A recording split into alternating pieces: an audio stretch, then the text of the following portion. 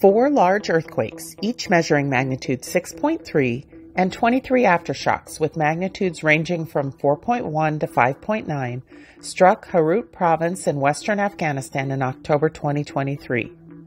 The province of Herat, located in the northwestern part of Afghanistan, has a population of approximately 3.8 million people. The earthquake sequence lies between two major faults. The first two magnitude 6.3 earthquakes occurred on October 7th, followed by 13 aftershocks. The third magnitude 6.3 struck on October 11th, followed by six aftershocks. On October 15th, the fourth magnitude 6.3 earthquake occurred and thus far has been followed by four additional aftershocks.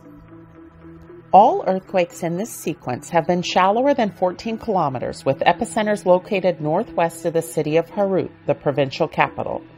Each of these large earthquakes has caused strong ground shaking in smaller towns within and near the approximately 40 kilometer wide cluster of epicenters within the Herat Valley. Shaking has caused horrific building damage and collapse and considerable loss of life. Damage was exacerbated by the repeated earthquakes that likely caused already weakened structures to collapse. Shaking intensity across the region can be seen in these consecutive intensity maps for the largest of the earthquakes.